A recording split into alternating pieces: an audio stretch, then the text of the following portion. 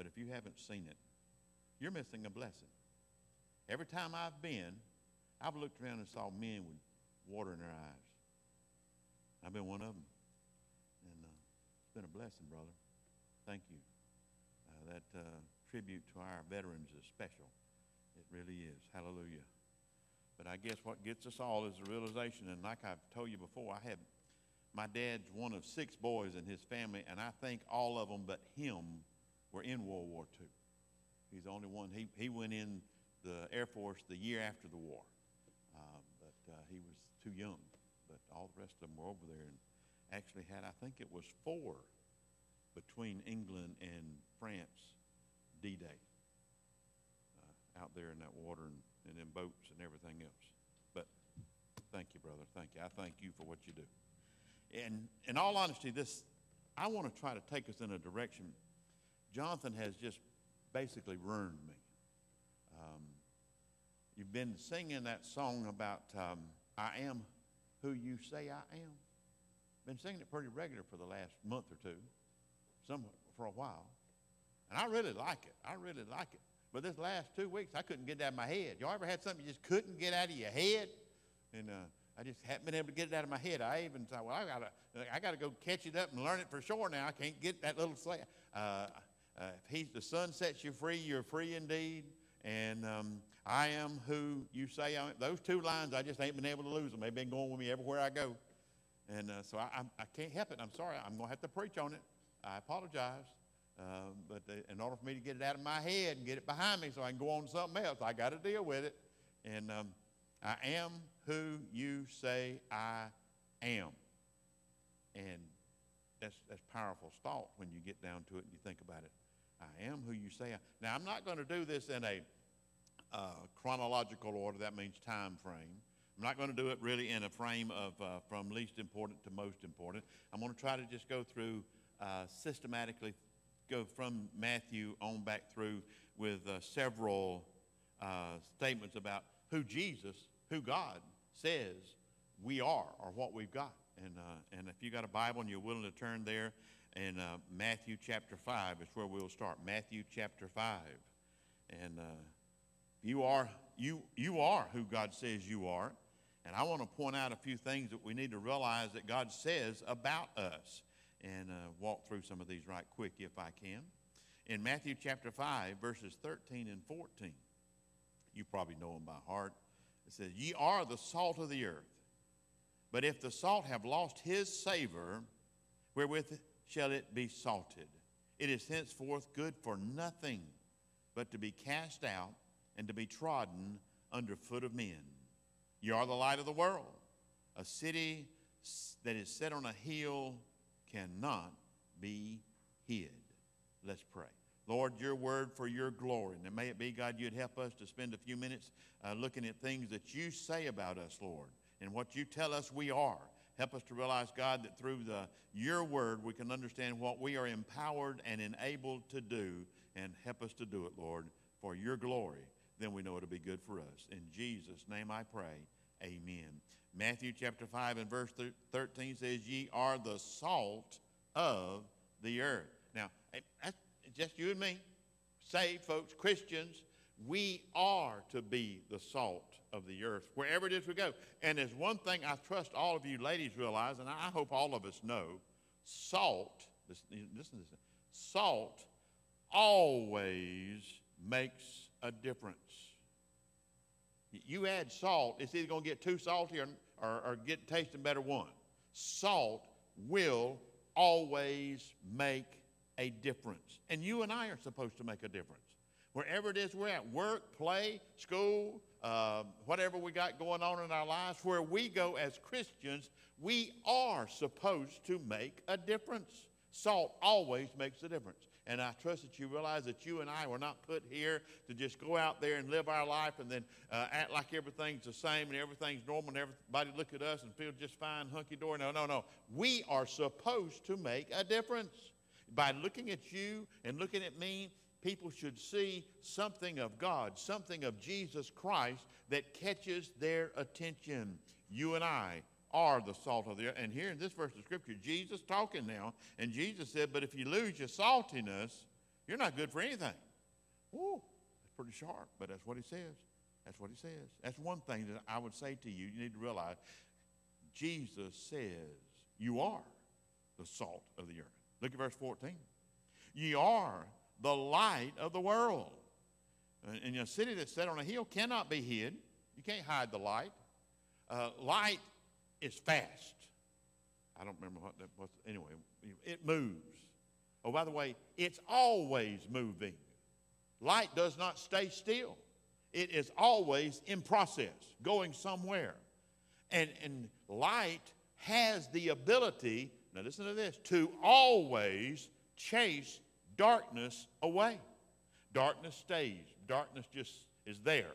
It doesn't move. It's just there. It's, it's, it's, you know, I started to bring a flashlight and try to do a little illustrating up here, but the simple truth is darkness stays in one place. Light always chases darkness away. And the darkness of the world, without any debate, without any doubt, uh, we understand we're talking about that which is evil, that which is sinful, that which is ungodly. That is the dark things of the world. And we could go down a long list, and you know that. But now, here's the thing we who are the light of the world are supposed to chase away the darkness. But we don't usually, do we? Especially today. They've got today where they don't care whether you're the light or not. They just going to keep being dark and doing their thing. You know, I've told you several years ago about going to visit that senior member of our church up in Dodge County, and she was a senior lady, a sweet little old lady. And I went by to visit, and I walked up to her uh, place, and I, I knocked on her front door. And when I knocked on her front door, there was a big uh, front window right there next to the door. And I looked through that window as I knocked on the door, and I could see she was sitting in a recliner right there. But as soon as I knocked on that door, I saw what she did. She had a beer in her hand, and she took it and hid it behind the chair. And I knocked, and then she says, Come in. And I come in. She had it hiding behind her, hoping I wouldn't see it. It was already seen. It was too late. But I, I didn't say anything to her. I didn't get on to her. I did not. Uh, whatever. But here's the point light. I was the light, okay? I was supposed to be the light. And when I came up, she knew the darkness of alcohol did not supposed to be there. And she wanted to hide it in the darkness. That's the way it's supposed to be. You and I are supposed to make a difference where we go. We're supposed to taste different. We have that saltiness about us. We're supposed to illuminate the place so that that which is bad and evil is revealed and it wants to go and hide somewhere. Yeah, well, I'm saying there's two things there right up that God says, I am what I, I, am what He says I am. Okay, He says I'm the salt of the earth. He says I'm the light of the world. If you got your Bibles, we'll turn over a little further. The Gospel of John, chapter 1. John chapter 1 and verse 12. John chapter 1 and verse 12. And it says this But as many as received him, to them gave he power to become the sons of God, even to them that believe on his name. So hold on. A third thing that we got to realize God says, I am a child of the king. I am. You are, you say, you're a child of the king. You're, we are sons and daughters of God. Man, we ain't going to have any better family. That's us. We are part of the family of God. That's right there's time to start saying amen, hallelujah uh, when you stop and back up and run, well, I'm part of the family of God. What's, what's going on here? Well, I'm supposed to act like part of the family of God. Had a guy in Dodge County. He was a little bit of a shady character, if you want to know the truth, but he had uh, two sons and a daughter, and they came to church. And I'll never will forget, uh, they came to church and visited us one week. And the next week, on a Thursday afternoon, our little church burned to the ground.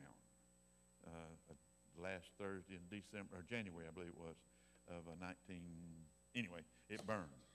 And um, I was standing there in the parking lot, hundreds of people out there in the country, but this fire was seen for miles. It was, it was heavily broadcast and everything else, and there was piles of people out there. Nothing they could do. It, it was an old block building with uh, uh, all the wood in it was fat lighted, I guarantee you, and it, it got hot. It got hot and burned fast. But I still remember standing there, and this man who had brought his, his sons and daughter to church the Sunday before stood there standing behind me, and I heard him say it. He turned to his son and he said, I told you good things don't happen when you go to church. I'm serious. I, I wanted to go around there and slap him. But he did. He said that. He said, I told you bad things happen when you go to church.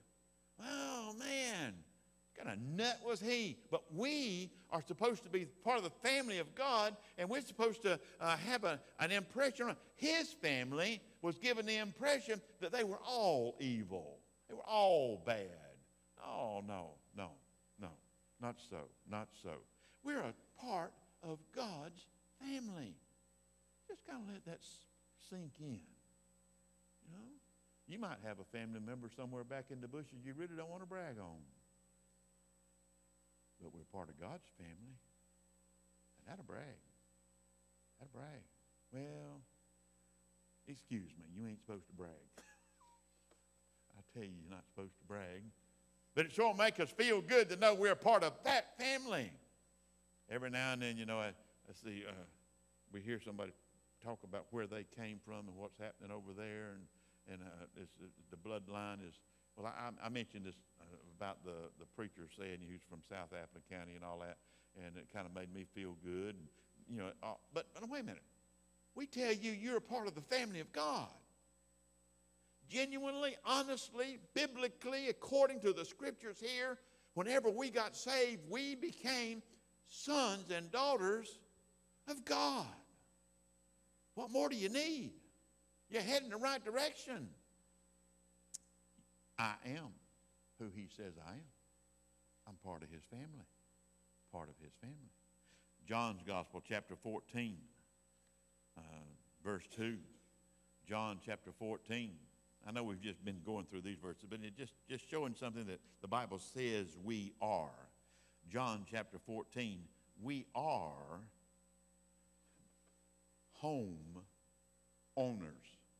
You got that? In my Father's house are many mansions. If it were not so, I would have told you. I go to prepare a place for you.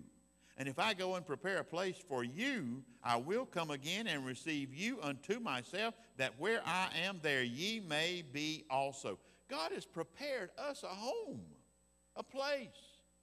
And as we've told you on several occasions, uh, that famous preacher friend of mine, Paul Dennis, well, he's famous with hunting clubs anyway. And uh, he, he always said, God don't make no junk. And if God has gone and prepared a place for us, you can rest assured it is not just a corner, a cabin in the corner of glory land. It's not. God's prepared dwelling places. If you stop and think about those of us in the room who are willing to admit a while ago that we have lived long enough that we remember outhouses, and if you can stop and realize how far we have come from those days, which is my lifetime, my kinfolk across the creek over there, several of them, I guess all of them that lived over there back then, they all had outhouses. We took, we took a bath in a wash tub on the back porch or either under the, wash, the water hose in the backyard. That was it. I mean, you know, I remember the, the running water was not in the kitchen it was out the back door of the kitchen on that walkway that connect the house to the uh, place where we used to eat, that room out there. All those things. But wait a minute, we ain't got that now, do we? You see, where all of us, the, the, the worst off person among us is better off than we were back then. Oh, let that sink in. But God's going to prepare something better for us. You can rest assured it will outdo whatever it is we've got now. But please hear me. God says He's got a place for you, a place, your own. Hallelujah. I'm on over a little further in your Bibles. Acts chapter 1. Acts chapter 1, talking about what God says that I am. God says, I am in Acts chapter 1, verse 8. I, what it says here, ye shall receive power after that the Holy Ghost has come upon you, and ye shall be witnesses unto me, both in Jerusalem and in all Judea and in Samaria and unto the uttermost parts of the earth. God says that you and I, if we are His children, part of His family, we have been empowered. I remember a story about a guy, uh, church over in Alabama that um, had a visitation program that was successful back in those days. It's been 50 years ago. And there was one member of the church who, well, he had some limitations. Um, he, he had trouble communicating with people. but he'd faithful to church. And he'd go. Lord, he'd be there. And uh, they had a list of names of folks who had moved into the community. And it was one of the towns over in Alabama that would, lived in a, a, a town that had uh, a college. And so, therefore, there was a lot of college students coming and going. And, and they went to visitation one night, and there was a list of, of college boys and girls who had moved into the town over the previous couple of weeks. And, uh, and he took a, a card that had two guys' names on it who were rooming there uh, going to college. And he said, I'll go there. And he went.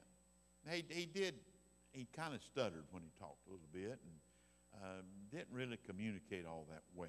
But, but he could. He, you could talk to him and you could understand him. But I, I remember the story that they told about him.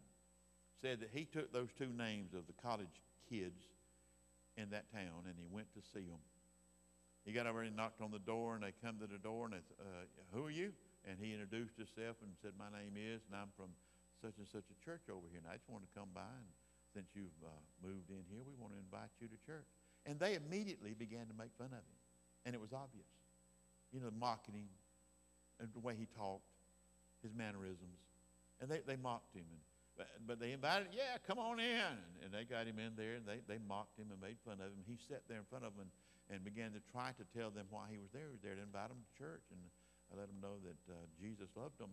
And finally, after a little bit, he, he realized it was obvious they were just making fun of him. And he stopped and he said, okay, I know I'm not like you. I don't have the same skills that you've got. But if I die tonight, I know where I'm going to you. And we kind of got their attention. Wait, wait a minute, wait a minute. We have been empowered, even if we do have limitations. My goodness, David Ring. We don't need to say anything. If you know who David Ring is, Lord have mercy. Anybody with all of his limitations and inabilities, but yet he has been used by God so mightily, so powerfully. Even if you do have to sit there for 10 minutes and listen to him before you can finally figure out what he's saying. and that's what I had to do. When I finally caught on, I could, I could figure out the way he was talking and all. But he wound up, and he still, he's willing to go and do. He's willing to go and do. We have been empowered. Take a deep breath. Pray and ask for God to help you, guide you, direct you, and go do it. Go use the power that God's given. You. But now, wait a minute, right there in that same verse of Scripture, there is not only that, that we have been empowered, but we have been empowered to witness. And, and ye shall be witnesses. I trust you understand that's, and I, I don't know the right way to do this. I don't uh, English teacher probably should help us, uh, but it looks to me like something's in the infinitive or the declarative or, or anyway, it says, You shall be. It doesn't mean you can be, it doesn't say you can be. It says, You shall be. Oh, by the way, I guess we can be good witnesses or maybe bad witnesses. You ever seen a bad witness? Yeah, I bet you have.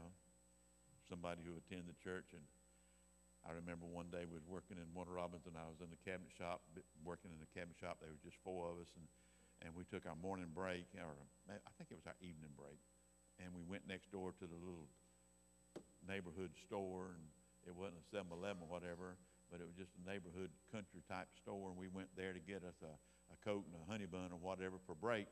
And I can still remember as we walked around the corner, because right next door, and started to go toward the building, we looked and there was a member of Second Baptist Church coming out the door with his little brown bag. You know. And uh, he got in his car and drove off as we was walking across the, the parking lot. We went inside, and I'll never forget. The guy that was in there was rough. The guy that run that store. Oh, he, he cussed bad, foul mouth in a lot of ways. And I remember as we walked in there and picked up our Coke or whatever we were getting and stepped up the counter, he looked at us and laughed. Yep. There goes one of your faithful members down there at Second Baptist Church. I know where he goes. I sell him his beer every week. Yep. And we didn't know what to say. What do you say? Bad witness. That's what he was. You see, you got to realize there's folks watching. You know, there are folks watching. They drive by right out here on Sunday morning when church is in session and they see whose cars are here and whose ain't. Mm-hmm. They know who's at church. We've been empowered. We have been enabled, but unfortunately, we can use our abilities to be a bad witness for the cause of Christ. I don't know how many times I've stood around and listened to people telling their jokes, and unfortunately, church members, church leaders, telling those shady jokes and laughing about them. No, no, that's not a good witness. That's not a good witness. Let me carry you on over in the Bible. 1 Corinthians chapter 6, just showing you some things that God says we are and that we have. 1 Corinthians chapter 6 and verse 19. What? Know ye not that your body is the temple of the Holy Ghost, which is in you, which you have of God, and you are not your own? Oh boy, I, I think maybe uh, the governor at New York and some of those other folks who think it's okay for you to decide what you're going to do with the baby that's inside of you if you're female and you happen to be pregnant and that that's you know, it's your body you decide. No no no. That ain't what the bible says. That is not what the bible teaches for folks who are christians. Our bodies are the temple of god god's holy spirit and this is i don't really understand all this all i know is i'm thankful for it there is actually according to these scriptures inside of daryl quinn the presence of God's Holy Spirit. Let that sink in. I'll never go without Him anywhere I go. Well, He's with us, He's in me, He's in you. I'm trusting that everybody in this room has made a decision for Christ. And if you have, then and you have accepted Christ as your Savior, then inside of you is the third part of the Trinity of God. Hallelujah. Oh my. Oh my. You are the temple of the Lord. Glory. Let me take you a little further. Book of Second Corinthians, over a few pages in your Bible. Second Corinthians chapter 5. Second Corinthians chapter 5. One of my favorite verses. It might be the first verse I memorized after Jesus wept. Therefore, 2 Corinthians 5 17. Therefore, if any man be in Christ, he is a new creature. Old things are passed away. Behold, all things are become new. Read it for what it says. Really, read it with the realization of the absolute that's included in this, the, de- the declaration of these statements uh, that uh, anybody in Christ is a new creature. Glory. Maybe, maybe, maybe y'all weren't as sorry as I was. I'm serious. Before I accepted Christ as my Savior at the age of 21, I was a rotten, sorry, church going person. I went faithfully just to keep my mama satisfied. And, um, but I got to tell you right now, when I got saved, I got turned around. The Lord took Daryl Quinn and, and made something happen. It's different. It's not the same anymore. I have been changed. And, and that verse of scripture says, I have been made a new creature, a new creation, some translations say. And, oh, and it said, and the old things are passed away. The old things are passed away. You passed away. It's forgiven. And that's part of the song, ain't it?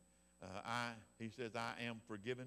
I, am I'm, uh, I'm chosen. I'm forgiven. Yeah, we are forgiven. That means all them dirty things that you used to do that you've asked God to forgive you for, they are gone. You will not be held accountable for them. Whew. I don't know what it means that. Uh, well, no, wait a minute. If you read that verse of Scripture and take it to heart and realize what it's talking about, I can, I can always look back in my life and remember on that day when I accepted Christ as my Savior, there was a difference made.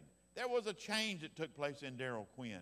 And, I, and I've cherished it ever since. Thank God for it. Hallelujah. And that is something that God says happens to us when we get saved. We become new. He cleans us. He, he somehow through the Holy Spirit and the blood of the cross, He washes all the filth and the dirty away.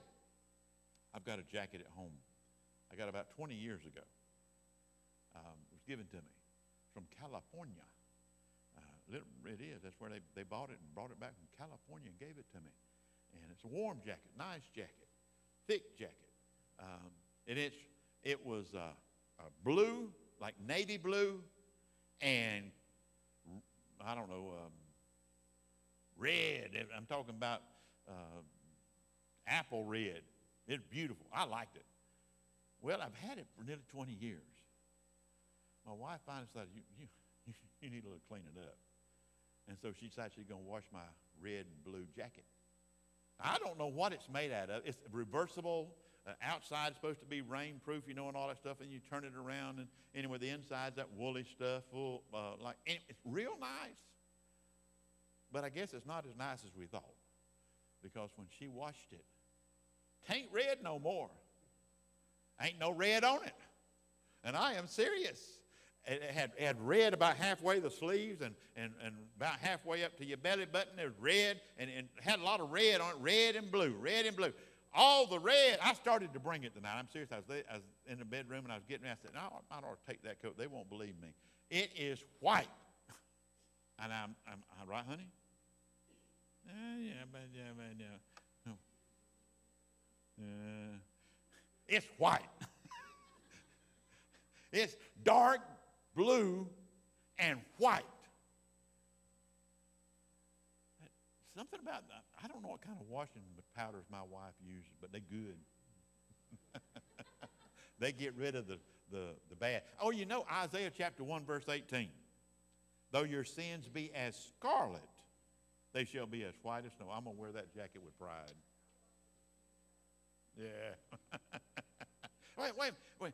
See, what I'm trying to get you to realize is this. Here, the Word of God is teaching us that Jesus Christ takes all of our sins and washes them away.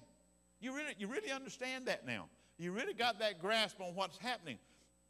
Have you ever, have you ever known you did wrong and you felt guilty? You ever done that? Yeah, whatever.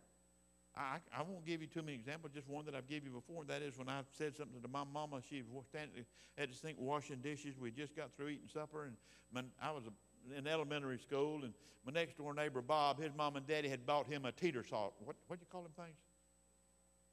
Anyway, the things that does that.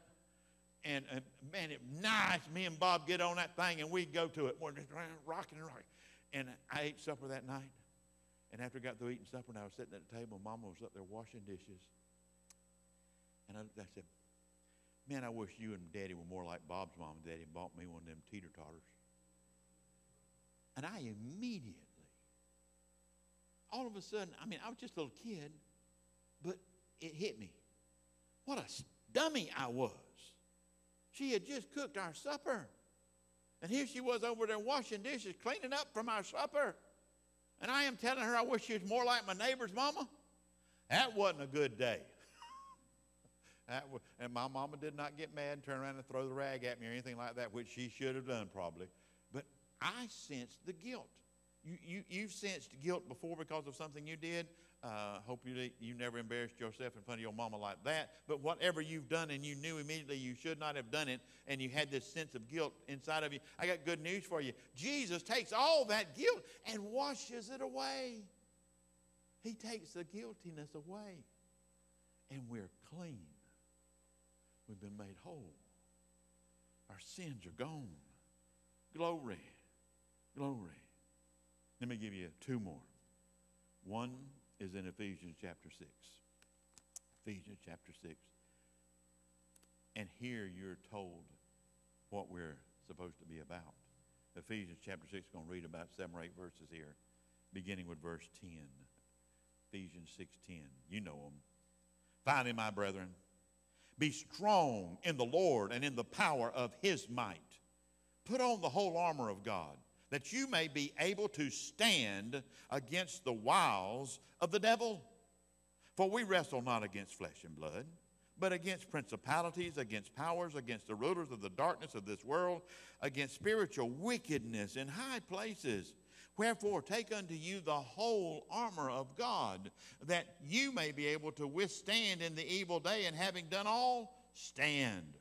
Stand therefore, having your loins girt about with truth and having on the breastplate of righteousness, and your feet shod with the preparation of the gospel of peace, and above all, taking the shield of faith, wherewith you shall be able to quench all the fiery darts of the wicked, and take the helmet of salvation and the sword of the Lord, or the sword of the Spirit, which is the word of God.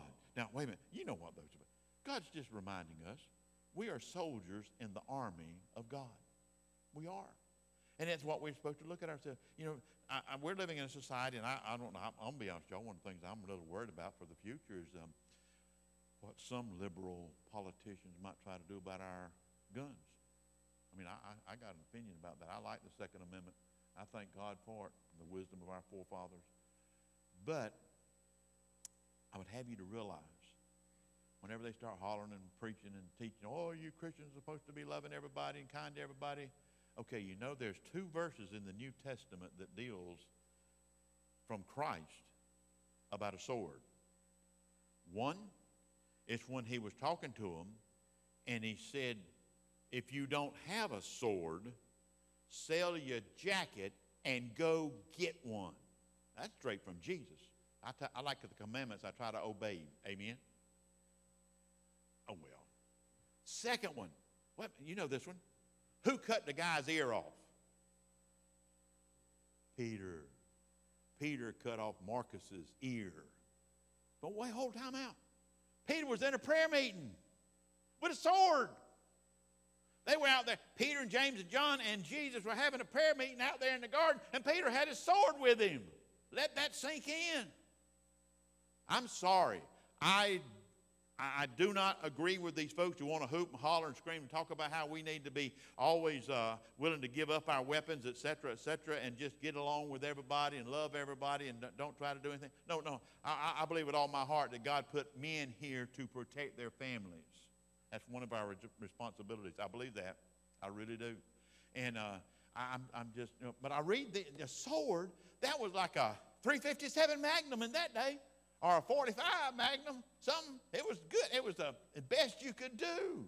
It was the most powerful weapon they could have. And there Jesus said, if you don't have one, get one.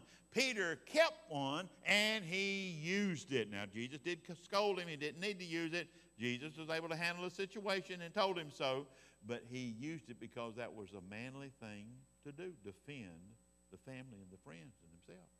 Well, uh, wait, wait Do you understand what these scriptures in Ephesians 6 are talking about?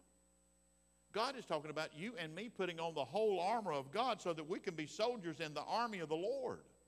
Now, I realize right there we're not talking about swords and we're not talking about 357 magnums or anything like that. We're talking about putting on the armor of God, the helmet of salvation, the breastplate of righteousness, uh, girdles uh, of truth, and the shoes of the gospel, and the helmet of uh, the, the uh, sword of the Lord, which is the, the word of God. And we're to put all those things on and carry them and be ready to stand against that which is evil. Yep. One more. I'm talking about things that God says you are. You can take all 10 of these that I've, I'm, I've listed nine. You can take all 10 and you can go into the Word of God and you can simply read in there where God says we are. From the fact that we are the salt of the earth and the light of the world and a child of God, and we're to uh, homeowners that God has made and prepared for us a home. We are empowered according to Acts 1 8, and we are to be witnesses, and we will be witnesses one way or the other. And we are the temple of God, and we are a new creation. Uh, we are soldiers in the army of God. Now, all of those things is what God says we are. I am who you say I am. That's what that song says. I am who you say I am. And I like that song. I think that's a good one. But it is one more thing. and the song even says this one. It's 1 John 1 9. If we confess our sins, he is faithful and just to forgive us of our sins. I'm forgiven. Glory, hallelujah. And, I, am serious as I can be. You, most of you probably don't have any ideas about having a past that's as rotten, uh, selfish as, as mine was. But I'm here to tell you something. I can say, hallelujah. It's forgiven. It's gone because it's been put under the blood. Amen? Everybody that gets saved, all of their sins are washed away. Whew. That's good news. That's the hallelujah good news. We could cut loose here and uh, start singing. I might even try to join. Jonathan knows I don't need to, but I might would try. Forgiven. God's not going to hold against Daryl Quinn that which he did when he was 20 years old. Nope. That which I have done since then, because I pray pretty regular, I got to be honest with you. And uh, I, I, jokingly cut up with a lot of y'all from time to time about, well, I, I say uh, young man or young woman, and, and we ain't young no more. And, and I, I say, well, I ask God to forgive me every day, and I do. I do. I'm sincere. I believe we need to. I believe we need to keep our sin account up to date and asking God to forgive us because it can build up and build a wall between us and God if we don't try to deal with it. And, and so I'm here to tell you, though, I know I'm forgiven. What I did as a dumb teenager has been washed away.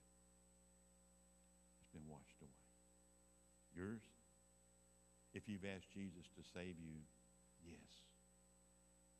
I just encourage you to stay in a, a daily prayer life, communicating with God, so that when you do mess up, and you will, you take a deep breath, go to God and ask Him to forgive you. And by the way, this verse, 1 John 1 9, we use it in soul winning. I use it all the time when I'm witnessing somebody about asking Christ to be their Savior, I almost always go to this verse of Scripture. But the truth is, this verse was written to save folks. John was writing to believers. When you sin, you'll confess it, he'll forgive it. Are you who he says you are? Yes. Yes. Just maybe we need to start acting Let's bow for prayer. Lord, I thank you that your word teaches us very clearly on many occasions about how you have dealt with us and our sins and our past. And Lord, thank you. And Lord, how you have empowered us and indwelt us with your precious Holy Spirit to enable us to be witnesses for you in a positive way and not negative. Lord, thank you for these teachings. And, and Lord, I just pray that you'd help us to realize that as we go into this season of the year of Thanksgiving and Christmas and all the, the things that normally go on, may we keep you in the middle of what we do for your glory. Then I know it'll be good for us. It's in Jesus' sweet name I pray.